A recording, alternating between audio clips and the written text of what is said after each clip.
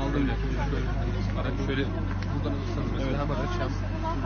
İşte bu da şey istiyorsunuz. Kontroller boşta şu an.